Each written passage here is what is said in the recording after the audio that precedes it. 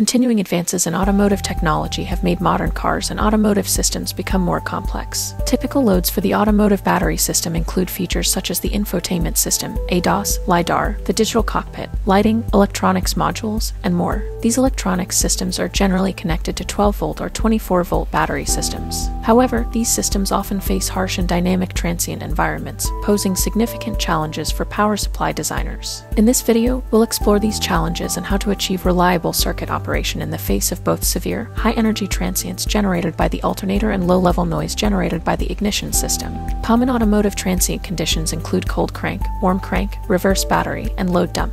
A cold crank pulse occurs when the battery voltage drops after the starter draws a high current to turn on a cold engine. The power solution should ensure that there is continuous, stable output regulation for inputs as low as 2.8 volts for a short duration. A buck boost converter with a wide input voltage range, such as the MPQ8875A from MPS, can be used to address low input voltages. A warm crank pulse occurs when the voltage of a battery drops as the starter draws a high current to turn on a warm engine. Compared to cold cranks, the voltage drop and shortened pulse duration are typically less severe during warm cranks, with the battery voltage dropping to 5 volts or 6 volts. However, certain functions must continue operating even through a warm crank. Using a DC to DC boost or buck boost converter with a wide input voltage range is also recommended to address warm crank conditions. A reverse voltage, also called reverse battery, condition occurs when the car battery is disconnected from the system and accidentally reconnected with the battery polarity reversed. This can result in a negative voltage across the input supply connector, which can damage the power supply and other circuits. It is critical to protect all ICs and components from exposure to negative or reverse voltages, as these conditions can severely degrade or damage components. A reverse protection diode or MOSFET is typically used to protect circuits against this condition.